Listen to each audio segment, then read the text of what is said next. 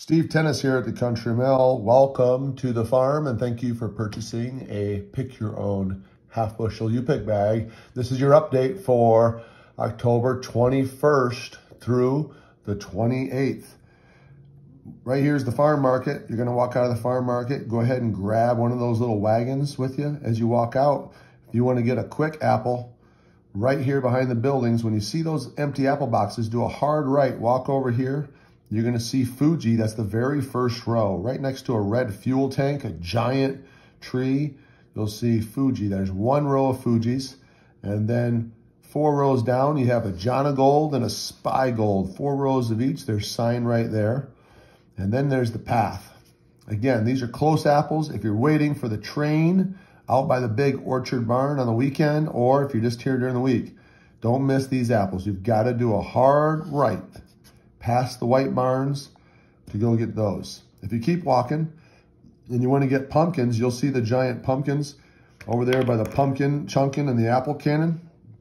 Plenty of large and medium pumpkins, but you have to do a hard left to get to the pumpkins. And that's behind the barn that has the solar panels. You'll see that solar panels.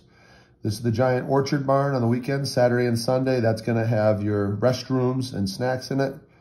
If you keep going back um, on the other side of the orchard barn, down a brick pathway, there's Northern Spy. Uh, Grandma always likes the Spy for pie. And there's three rows of those. And again, they're right by the brick walkway in the wedding area. If you keep going back farther, you'll see an electrical pole. Most people walk to here before they realize they're in the orchard. At the electrical pole, we got four rows of Empire.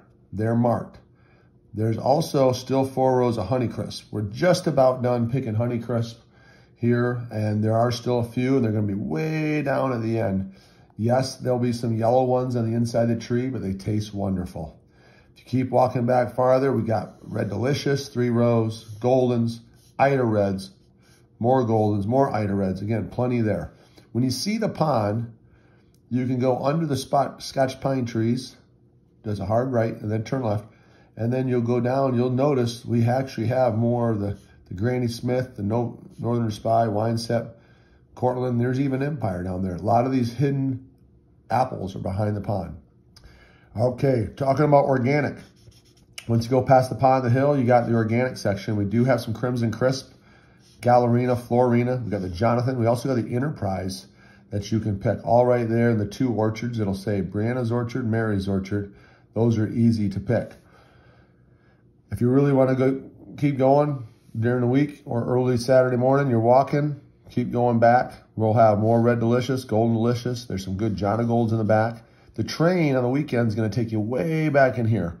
And it's going to drop you around on the back side, the south side. Um, and that'll allow you to pick back here where people haven't gone during the week. Again, that's Saturday and Sunday, noon to 5. And then the, the, the uh, wagon ride, again, it's going to go right up the center. It's going to turn. It's going to come back this way. It's always going to be going the same direction. And then it'll also drop you off over here kind of by the Ida Reds and the Goldens. So again, you can pick these apples that people have missed during the week if you're here on the weekends. And that wagon ride will bring you all the way back up to the front. Again, Orchard Barn, the Farm Market Winery. Don't forget, pumpkins are way over in here. Thank you for coming.